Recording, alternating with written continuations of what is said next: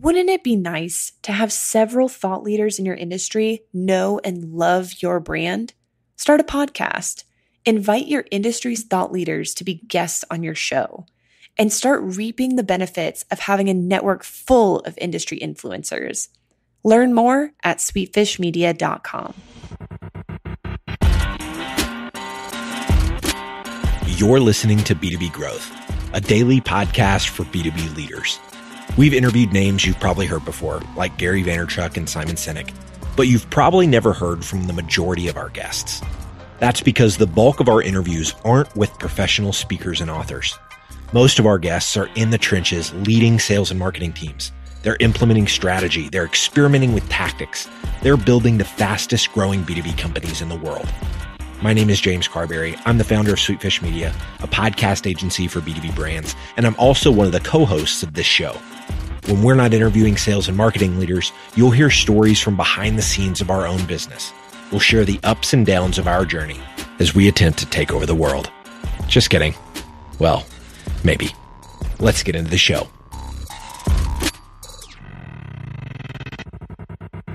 Welcome back to the B2B Growth Show. I'm your host for today's episode, Logan Lyles, Director of Partnerships here at Sweetfish Media. I'm joined today by Keith Brannan. He is the CMO at Kasasa. Keith, how are you doing today? Doing great. How are you? I am doing fantastic. Thank you so much Good. for joining us today. Um, we're going to be talking about how to find the right balance for your organization between uh, standard demand gen and new account based marketing strategies. Um, some folks would say, you know, new or not new, but uh, regardless, yeah. I think yeah. all marketers are trying to figure this out is how do they find the right balance that most importantly is right for their organization. Before we do that, I would love for you to give listeners a little bit of context. Keith, tell us a little bit about your background and what you and the team at Kasasa are up to these days. Uh, sure. I'm the, as you say, the chief marketing officer at Kasasa. We have uh, two teams here actually that are very different. One is full B2B and lead gen and demand gen, gen, and another is B2C. So I actually operate on both sides. And the, the reason for that is that our organization is a fintech company that basically builds uh, and distributes technology and marketing for community banks and credit unions. So we'll go through a typical exercise with an institution and find out exactly how to financially engineer their checking accounts so they can be high reward checking accounts. A Kasasa cash account pays in the neighborhood right now nationally of about 3%, which is about 40 times more than a megabank uh, account does for a free checking account. Um, we, same with our cashback product, extremely high interest, and we've just engineered them in a way where it's good for the consumer, it's good for the institution, um, it's good for us, and so everybody wins. And we build those products, but every institution has to name it Kasasa. And the reason for that is now, right, as of today, uh, we have in the neighborhood of 600 Kasasa banks and credit unions in the United States who distribute our product. And it allows me as a marketer and my teams to go in and identify the commonalities across market because we're using one brand instead of you know someone calling it free checking and another ultimate free and another one blue dog checking or whatever they decide to name it and you just you just can't learn anything that way. And this allows us to help smaller institutions compete with really large institutions that are very data enabled because the the lack of data in their account base is what really limits some of the smaller institutions. So it's a it's a great product for the consumer, and we're we've been doing this for uh, about 14 years. We're actually the originator of reward checking in the United States. So wow. very very cool history. Um, and so my role includes not just building the consumer facing for those institutions, but also acquiring those institutions and figuring out mm-hmm. uh, you know what they need and what right. their strategy is that we can support right like you said you you've got a mixture of b2b and b2c marketing happening under yep. one roof and and right. uh, within one team that you're directing i think that that gives you a very unique perspective and and you alluded to something there in in looking at you know larger swaths of data to inform you know the client facing marketing and I, I we're going to uh, touch on that a little bit um, i know you have some some great insights to share yep. with listeners when it comes to data and crm in this balance of demand gen and abm but as we were talking offline a little bit, Keith, you mentioned something that I thought was really poignant that I think would be a great uh, jumping off point here, and that is if you're looking at where do I go with ABM? Does it need to be 10% of my efforts? Does it need to be 90% of my efforts, or somewhere in the middle? Is looking at your specific situation. What are some of the things that that you've found in your organization um, helped make that direction for you guys to to inform that decision? There's a number of uh, factors in that for sure. Our, our demand gen and B2B shop overall is um, uh, very effective at generating leads for our sales team. Um, and one interesting note about our client base, though, we have in in our total market opportunity in the neighborhood of 6,600 target uh, institutions total and that number is unlikely to ever increase. So as banks consolidate, we don't add a lot more banks and credit unions in the United States, so it's slowly deteriorating. Mm-hmm. Now the banks get larger, so there's still the same amount of business there. It's just consolidated, and so for us, that that's very impactful because when you just do a um, a normal approach at demand gen, which is make sure you get plenty of touches on the market and lots of media into the market and target it at the buyer and then call them and follow up and have them talked to by salespeople.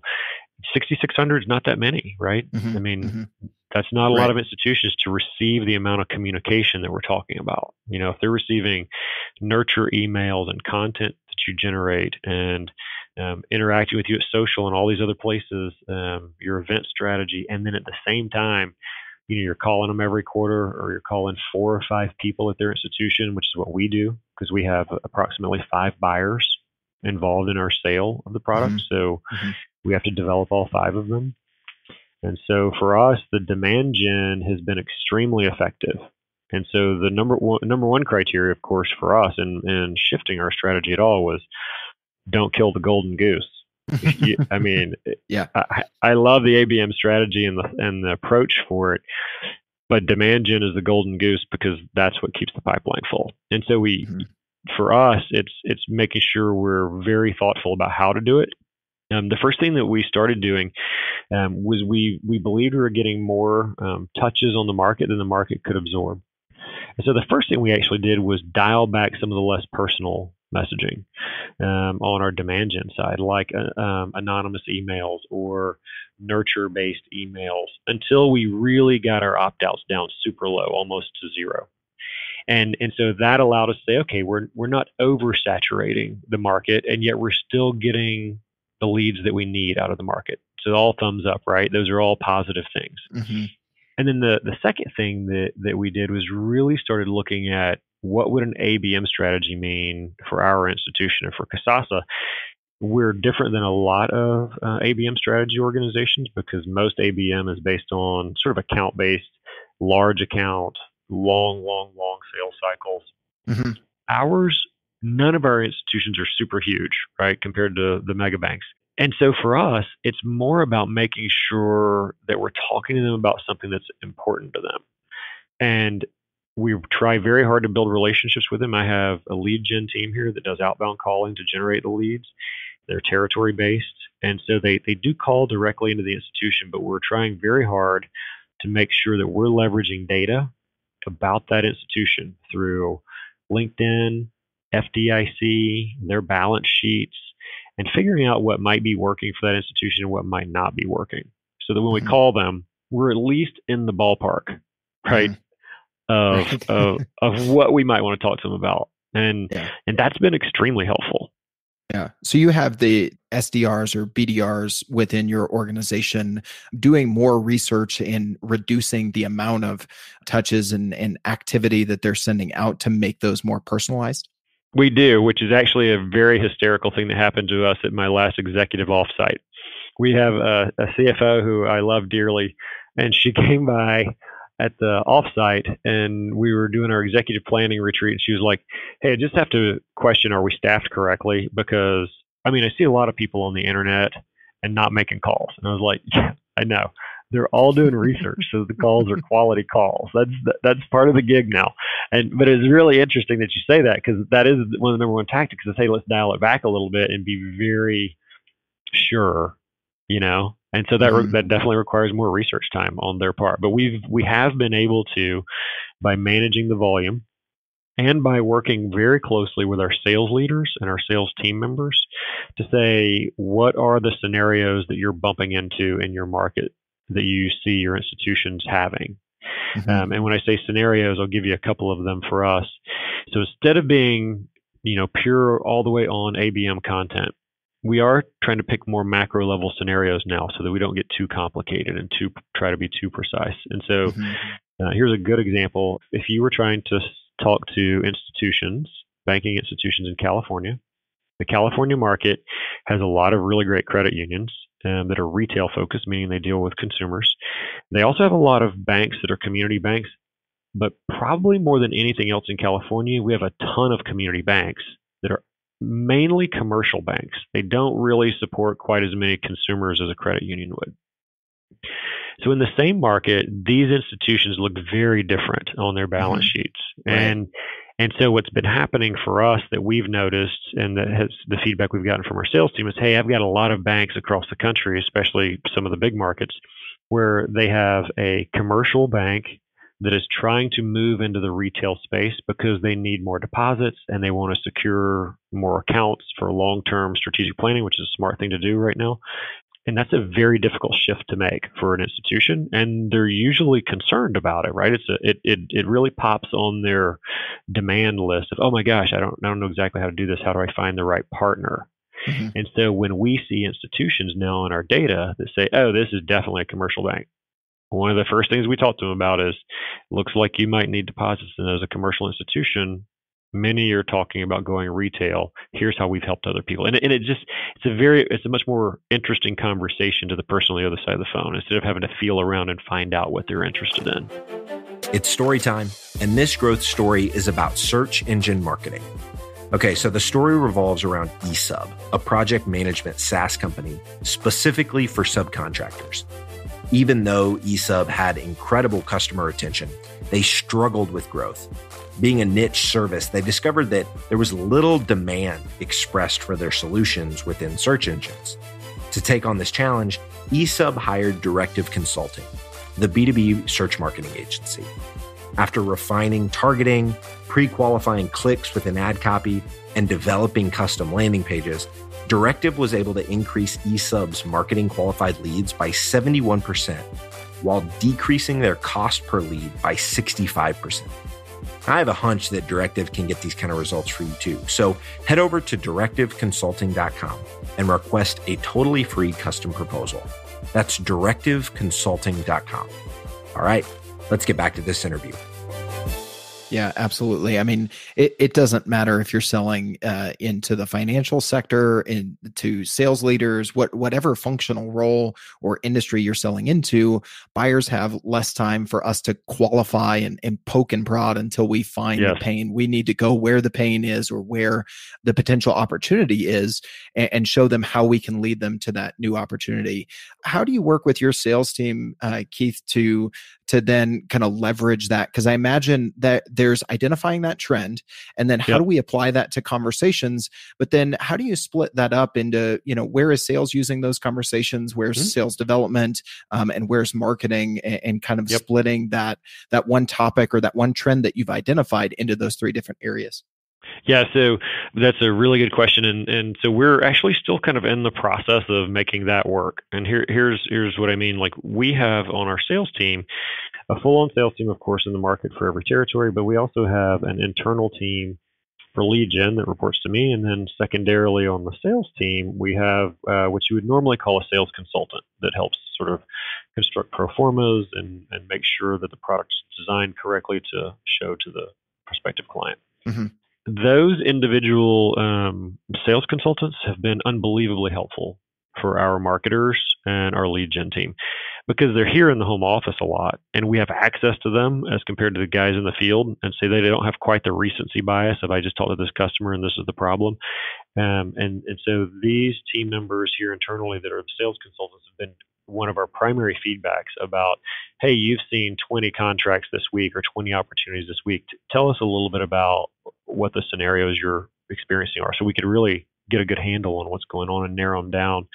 And then once we do that, there are there are multiple ways that we start to cut the content. And the first one is just on the street level, talking to them as I mean the easiest one talk to a credit union like a credit union and a bank like a bank, right?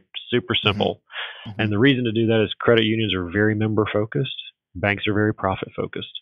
And those are two very different like approaches to why you want to buy a product. And so just cutting it that way to start with is a really important one. And then understanding below that the data that tells us here's a customer who needs more loans or more deposits.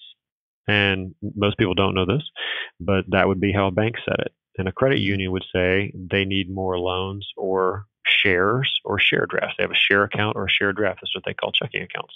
Mm-hmm. So just sort of starting to connect with them about their needs and their language and our marketing um, is marketing's job. And then our whole job on the B2B side is after we book the appointment, salesperson has the appointment with an MQL and our whole job is to try and get them to the the next big appointment, which is a larger executive group meeting. And so mm-hmm. we build content to target the five buyers that can be distributed as video content for them to consume, and then um, helps you know make sure that next meeting gets set. It, it kind of helps our sponsor be willing to share that content because it's high quality with mm-hmm. their peers, mm-hmm. so that it's less risky for them to say, "Oh, here's where I want you to come to this big group meeting." Right. Yep. And Makes so we're trying to we're trying to help our sponsors a lot, and that's I think that's marketing's job. And then the sales team, man, they're in there having those face-to-face meetings, following up on the um, the content that goes out, and so and that piece in the middle there, where we're building more compelling content, is that's the part we're working on now to try and influence those results mm-hmm. inside the funnel. So you touched on it a little bit there, talking about uh, data, and we alluded to it earlier, Keith. You mentioned uh, as we were chatting offline that leaning into how you leverage your data and the CRM yeah. is very important, especially if you've got a smaller addressable market and you're going to lean, you know, fifty percent or more to an account-based strategy. Yep. You learned some lessons about cleaning up the data uh, here recently that I know you wanted to share with listeners. Yeah, for sure. You know, there's uh, there's two things about CRM that I think are really important for us as marketers to to understand. The first one is that uh, CRM is truly about a sales process first. Um, and so it's not necessarily just about the client information. It's about the process that they're going through. And so the first step for us was really clearly working with our sales team members for them to define the sales process that was working and for us to constantly sort of work around that and then figure out how can marketing get into those stages to help better top of the funnel and mid funnel. Mm-hmm. And it, it's a working within that. It's a very big deal for us. And that keeps us aligned with the sales team so that they know if they're not using CRM, the reports are wrong and lots of people are going to be upset and and candidly right now because of the energy that we have behind it i mean i don't think i've ever been with an organization that has the level of crm adoption that we have i mean mm-hmm. like our guys use that thing top to bottom every day i can pull up reports anytime and feel that they're like if they're not right it's because they haven't been updated in two days not because they're not using it you know for their mm-hmm. job mm-hmm. so that's a that's a great pain point to eliminate is an alignment between myself as the marketing leader and the head of sales that this is going to be the record of truth for everybody what were um, some of the, some of the things that you you discussed as as sales and marketing leadership together to get headed down that path, or some of the points where the sales team kind of got it, like, oh, this is why I really need to to lean into keeping my portion of the CRM clean and up to date, and these are the benefits I'm going to get back from it as marketing uses this data as well. Yeah, for sure. The the benefits to everyone are nobody makes anywhere near the number of mistakes that could be made by not having up to date data about a client or a prospective client that you might be in funnel talking to. And, you know, one of the things that we did honestly was since the lead gen team uses it exclusively and they are all here in the home office and we can get our hands on them, that group, that's all they can use. And so mm-hmm. all leads are presented only through the CRM tool and mm-hmm. they come with, you know, defined tasks that happen after that. And so all of my reports stop the second it gets handed off, right? And then they start looking at aging reports and how rapidly did it get followed up on that kind of stuff. And that has to mirror what my sales counterparts reports look like. And there was a mm-hmm. period of time where we'd say, Hey, you're not following up on your leads. And he'd call his team and say, Hey, what's the deal? Why aren't you following up on these leads? And they say, Well, I am. I've got my notes right here. And he'd say, That doesn't count. it, it doesn't count if I have to call you to get it. I should right. be able to pull it right. up, right? And so it, it probably took him as a leader about six months to really pull the whole group in. And then every training session he does, it's all about how to how to do whatever he's wanting done in the tool. And it's been that's been awesome. And then our responsibility on the marketing side is not just to sort of work within that same process and support them, but to make sure the data is good. Um, mm-hmm. And that was like for us this year and uh, probably mid last year, we started making new investments into data from new sources to expand, you know, the number of buyers that we had access to at each of these institutions. Uh, mm-hmm. And we hired a couple of external sources that would not only give us data, but then a data cleaner, basically, that would go through our entire stack of CRM data, mm-hmm. about 90,000 people at these institutions total that we had access to, and um, start cleaning them. And I was truly floored how rapidly our data was aging. And if you're in a market and you're not keeping that CRM data up to speed every year, and it's not just part of your budget that you're going to spend that money to get that stuff done, I can tell you the numbers are astounding. Our data was aging at around 20% per year, meaning bad data 20% a year, which means mm-hmm. automatically whatever's in your CRM, you're going to miss your lead goal by 20% if you're dependent upon your CRM to get it. Mean, yeah, that's incredible. Yeah. Uh-huh. And then I went back and checked with my team, and right now, almost 30% of our leads for this year have been generated by data that was brand new. Wow. Incredible. And I mean, I hate to say this, but this is the first year that I've had on my standing budget every year go through and clean that stuff every single year. Mm-hmm. Because yeah. the turnover of employees in every market, yep. people changing jobs, mm-hmm. people expanding, companies adding jobs, yep. roles just change. Yeah. And if I had to go back to the beginning of the year and suddenly not have that information, I was going to miss my number by 30%, I would probably not be on this call.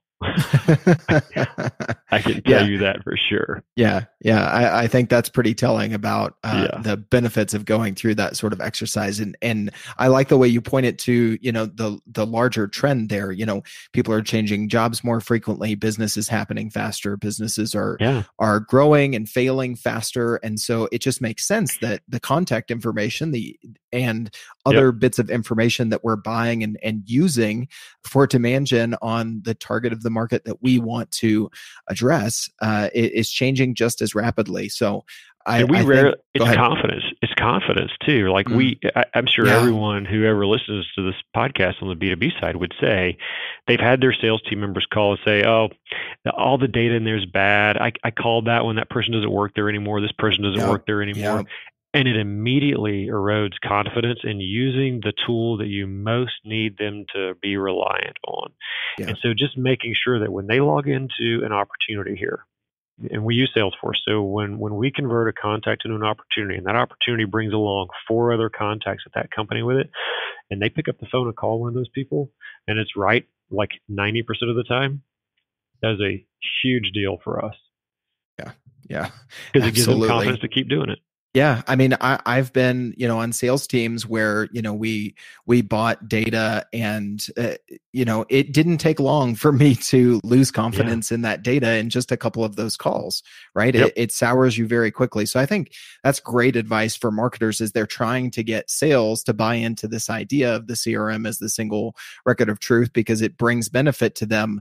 What we can do on the marketing side to help our sales counterparts believe in that data is is to invest in in cleaning it up. Um, and you point to good reason why we should be doing that more frequently.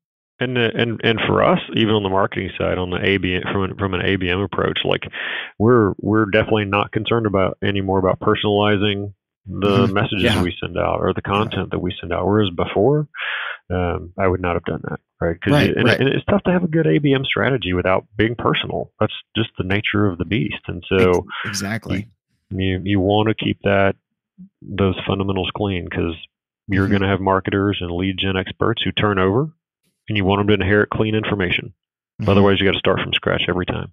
Yep, absolutely. And that's exactly where I was going to wrap it up too, Keith, is, you know, a, an ABM strategy is so centered around very personalized content that if you're if you're not feeling confident there that's a good bit of spend to dump into something that's going to miss the mark 20 or yeah. 30% of the time right That's right. Well, well, Keith, this has been a great conversation. I think there are a lot of marketers who are going to get some value out of what you shared today and some of the things that you guys have been doing to determine uh, your balance between your demand gen approach and your ABM approach. If anybody yep. listening to this would like to reach out or stay connected with you, what's the best way for them to go about doing that? Sure, yeah, they can uh, reach out to me uh, on my LinkedIn. Is probably the best way. Um, it's uh, Keith Brannan. B R A N N A N, and I am the Chief Marketing Officer of Kasasa. You're welcome to connect with me and just put a note in there so they know that you heard about me on the podcast, and that'd be great. And um, it's been it's been uh, wonderful having the opportunity to speak with you today, Logan. Awesome. Well, Keith, thanks again for being on the show and for sharing your expertise with our listeners. Yeah, thank you again, and thanks so much for uh, hosting a B two B podcast and forwarding um, the what I believe is one of the more overlooked sciences in uh, marketing fronts. This, this is really good stuff. Thank you. Awesome. Really appreciate it, Keith. Yep. Digital marketing agencies have a tough job. You have to stay on top of the latest marketing strategies for your clients and your agency. What if there was a way you could address both at the same time? Imagine your agency putting out content with greater quality and quantity Envision bringing your clients a turnkey solution for one of B2B marketing's fastest growing media strategies podcasting. You know, all those clients asking for your help with their account based marketing efforts? Picture being the first to bring them the idea of content based networking, showing them the proven strategy for breaking into their most coveted accounts. Here's the concept Sweetfish Media is looking to work with a limited number of innovative agencies interested in a new partnership model. We produce a podcast for your agency. You introduce the power of podcasting and Sweetfish services to your clients. Everybody wins. Learn more at sweetfishpartners.com.